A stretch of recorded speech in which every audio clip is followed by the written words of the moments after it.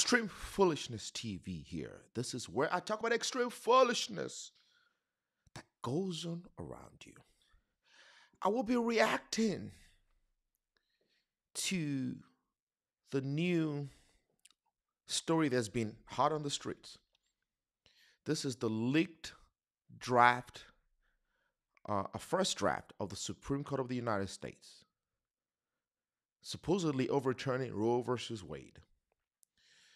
The United States Supreme Court had a first draft that was leaked by Politico. And in that draft opinion, Roe versus Wade will be overturned. So they now have the votes. A lot of this radical judges who have somehow lied their way to the bench of the United States Supreme Court have decided to overturn Roe versus Wade. Well, I will be doing a lot of videos about this topic. It's too many videos. I, I there's so much stuff I want to talk about, but I'm going to be doing it in piecemeal because if my videos are too long, people don't want to click on my videos. The first thing I'll be talking about is that once if if Roe versus Wade were overturned, which I think it will be, a lot of states or at least 26 states are on re- they're on standby to ban abortion. The focus on, of this video is child support. Those 26 states that are ready to ban abortion, as an attorney, I would argue, have no right to pass any law forcing a man to pay child support a man who does not want to have the baby. Think about it. The Supreme Court of the United States says the right of privacy does not extend to a woman's right to make the choice not to carry the baby to term.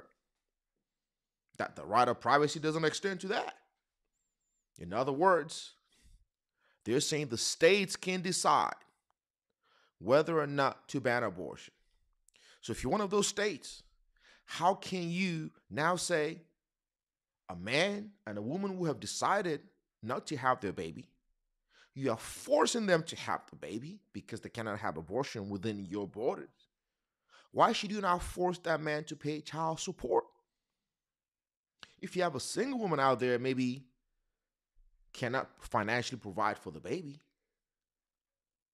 why should you now force that man who fathered the baby to pay child support if the man and the woman say, hey, we didn't want to have this baby, but we're forced because you ban abortion.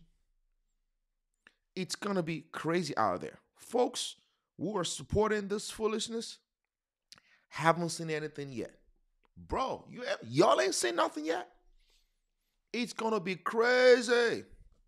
And a lot of the states are so called evangelicals. So if you guys are the evangelical states, the Christian states, should do the right thing and take care of these kids. So women who have babies and they can't get child support, who did not want to keep the baby, and the guy did not want the baby, they should go apply for child support from the state. And the state should do the Christian thing and take care of these babies because you told them they had to keep these babies. They had to keep it. Better nobody from any of those states should ever say somebody's asking for a handout. You have no right to say that because you're telling them they can't abort the baby. They got to keep the baby. They don't have the right to make their choice of their own.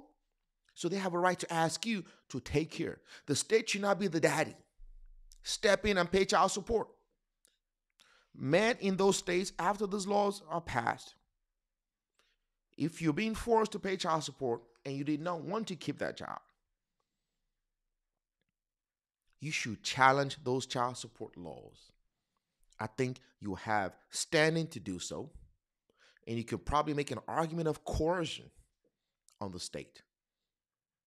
I think it would be a wonderful argument and let that case go all the way to the United States Supreme Court. Obviously, it's going to pass to the state courts. Let it go to the United States Supreme Court and let them make another ruling saying, we forced you to keep the baby, and we're also going to force you to pay child support and let the foolishness keep going. That is part one on this Roe versus Wade series. I got a lot to break down. I'll be breaking down some more legal stuff. So subscribe, hit the bell. Appreciate you guys for watching. Stay safe out there, my lovely people. And most importantly, say no to extreme foolishness.